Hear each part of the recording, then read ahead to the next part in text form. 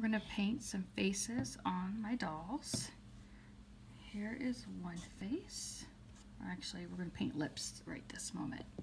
Alright, all I'm using is this Apple Barrel brand uh, matte acrylic paint, quick drying, easy cleanup.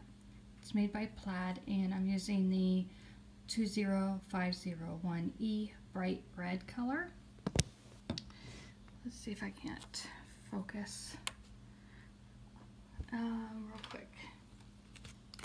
I also found this pack of paintbrushes. There are four. I have one in my hand. Um, these were at Walmart. They were pretty inexpensive, um, but they're nicer than the um, like Dollar Tree ones. So I have the thin brush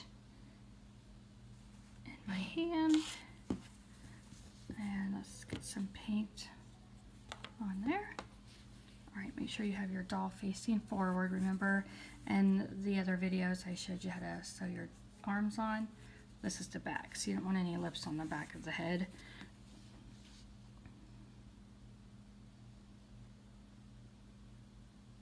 I kind of paint mine down in a V, almost like a heart.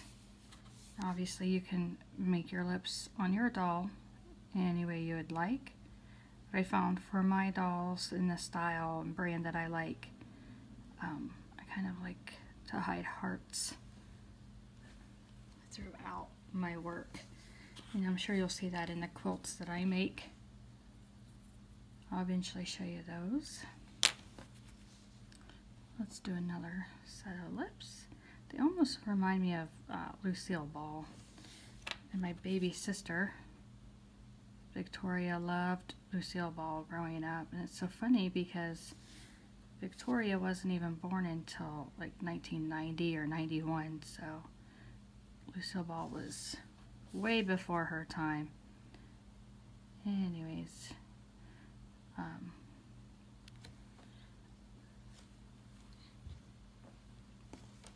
Alright, here's the last doll that I've constructed.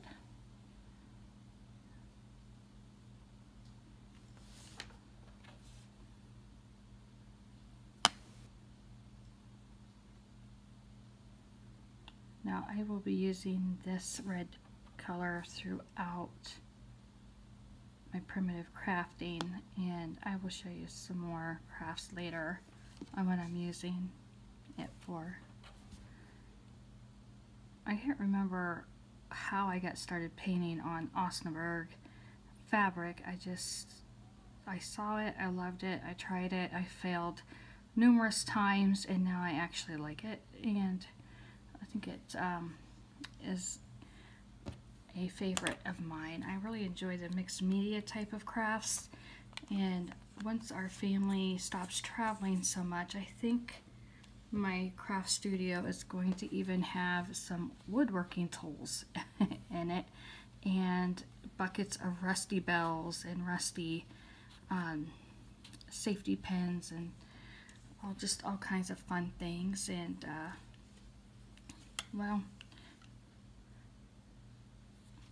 I think it's cute. And when that dries, I will paint some more of the face. As always, it's Stephanie Grams at mysewingneedle.com.